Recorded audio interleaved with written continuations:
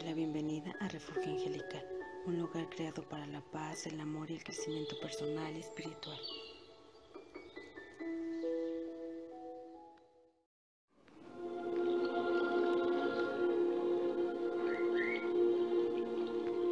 El día en que Dios creó a las madres. El día en que Dios creó a las madres. Y ya había pasado el día y la noche durante seis días. Un ángel se le apareció y le dijo, ¿por qué esta creación está dejándote tan inquieto, Señor?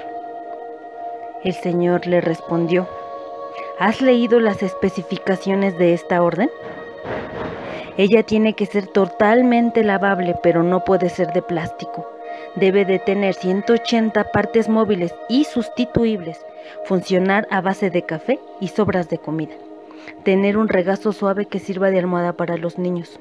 Un beso que tenga el don de curar cualquier cosa, desde una herida hasta un sufrimiento de amor. Tener seis pares de manos para cumplir con todas las tareas. El ángel sacudió lentamente su cabeza y le dijo, ¿Seis pares de manos, Señor? Parece imposible. Pero el problema no es ese, dijo el Señor. Son los tres pares de ojos que esa criatura tiene que tener. El ángel con un sobresalto le preguntó, ¿para qué? Un par de ojos para, ver a través de las puertas cerradas, para cuando se pregunta qué, qué están haciendo los niños allí adentro, aunque ella ya lo sabe.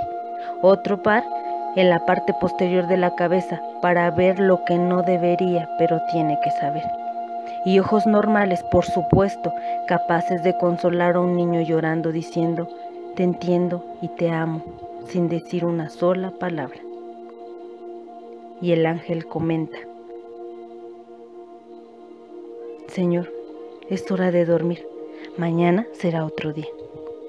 Pero el Señor le explica, no puedo, está casi lista, ya tengo un modelo que se cura cuando se enferma, que puede alimentar a una familia de seis con una libra de carne molida y puede convencer a un niño de nueve años que se bañe.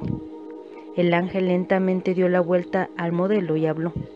Es muy delicada, Señor. Pero el Señor dijo con entusiasmo, pero es muy resistente. No te imaginas lo que esta persona puede hacer o soportar.